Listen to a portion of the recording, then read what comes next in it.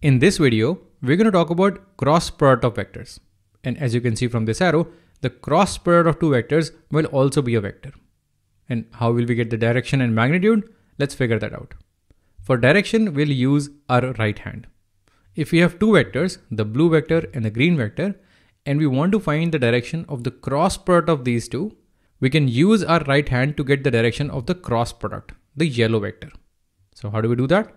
Well, if you're taking the product from blue to green, you're moving from blue to green. So if your fingers move from blue to green, your thumb will point towards the yellow vector, the cross product. If this is A vector and this is B vector, this yellow vector will be A vector cross B vector in the direction of the thumb. And what's the formula for this? Well, A vector cross B vector, that's equal to mod of A vector times mod of B vector times sine of theta. Theta is the angle between A and B moving from A to B times, and here's the fourth quantity, n cap. n cap is the unit vector which is perpendicular to both A and B. So this has four parts. Let's break all of them down. This one, n cap, that's the unit vector perpendicular to both A vector and B vector. You get this direction from right hand thumb rule. This theta is the angle measured from A to B. So the direction is important here. You're moving from A to B. So A cross B. So this is how you get theta. These two are the magnitudes, magnitudes of A vector and B vector. So if you combine all of them, you have magnitude, magnitude, some number, but some vector. So something real times a vector. So this makes this cross product a vector. Now, one important thing about this angle theta, this theta ranges from 0 to pi. 0 is when A and B overlap and pi is when A and B are facing the opposite direction. We usually don't take a negative value of theta. If A and B switch places, for example, if A is here and B is here, now if you move from A to B, you move in this direction. So the theta is still positive, but your thumb is now pointing downwards and this will give us the opposite direction of what we got in the previous case. All right, now let's ask the same questions that we asked with the dot product. Let's understand this formula better. When is this zero and what happens at other angles? Pause the video, think about it. What happens when this cross product is zero and what happens for other angles? Okay, let's think about it together. If this is zero, this means some part of this is zero, mod of A, mod of B, sine theta or n cap. N cap can't be zero, it's a unit vector, it has a magnitude one. Mod of A and mod of B, either they can be zero, either we're dealing with zero vectors.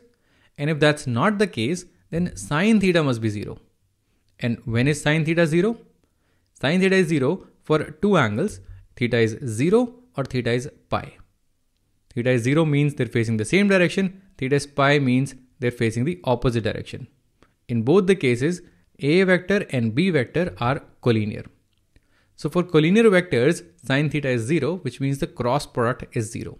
That's a useful result. So when we have a cross product equal to 0, we can say that we're dealing with collinear vectors. Now what happens at other angles? What happens when theta is pi by 2?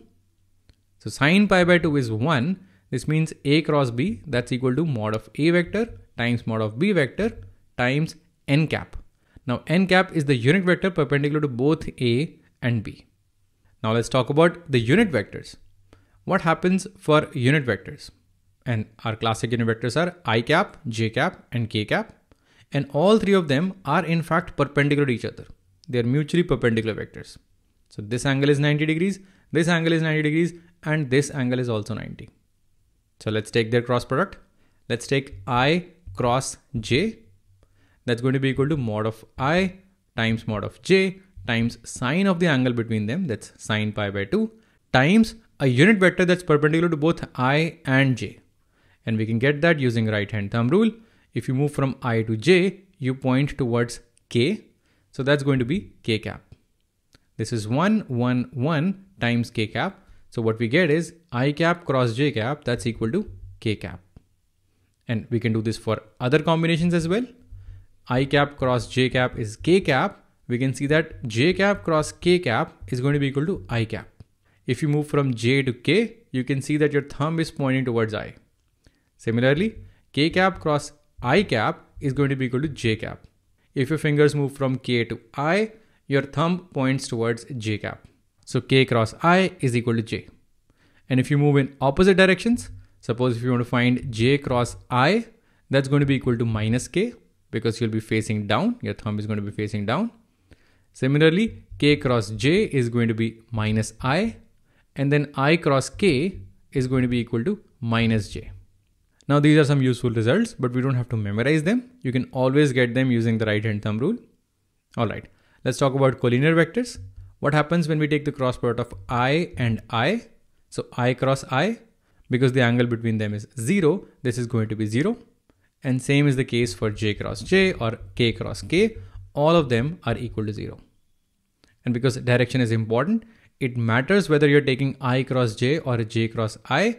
We can say that b cross a, the opposite of a cross b, that's going to be equal to minus a cross b. So these two are negative of each other.